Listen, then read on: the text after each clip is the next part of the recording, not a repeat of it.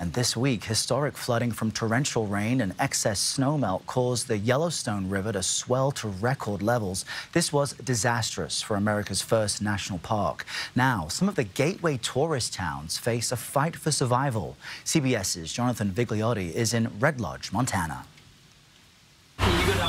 Tonight, residents are still drying out. Cell phone video shows two kids using a raft to gather belongings in their basement filled with several feet of water.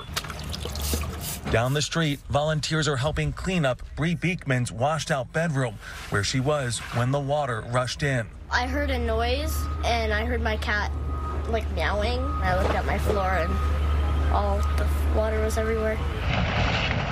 This week's catastrophic flooding in Yellowstone shut down the national park and damaged or destroyed hundreds of homes and businesses in nearby towns like Red Lodge, where recovery will take months, if not longer. How do you recover from this? Does your insurance cover floods? Most people don't have flood insurance, and for good reason. We don't have floods. We don't flood.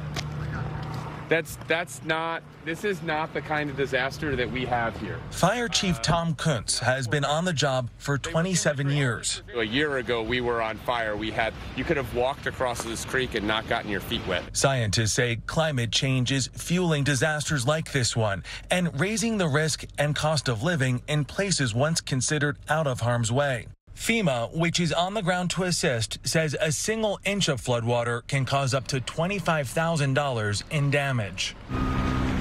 Without insurance, homeowners will have to pay out of pocket or apply for hard to get loans, also hampering recovery, a flood of cancellations. You're needing to cancel. Larry Young's Inn was fully booked this summer by people hoping to visit Yellowstone's Northern Loop, which is now closed through October. When did the cancellations start coming in for you and your business? Immediately, we've had over 150 cancellations. And that number has only grown, leaving this tourist town on the line. Just help our town out by uh, uh, supporting us by coming to see us again, all right? And this was supposed to be a big summer for Yellowstone, which is celebrating its 150th anniversary. The southern end of the park, which did not sustain as much damage as where we are tonight, is expected to reopen on Wednesday, Errol. All right, Jonathan Vigliotti, thank you.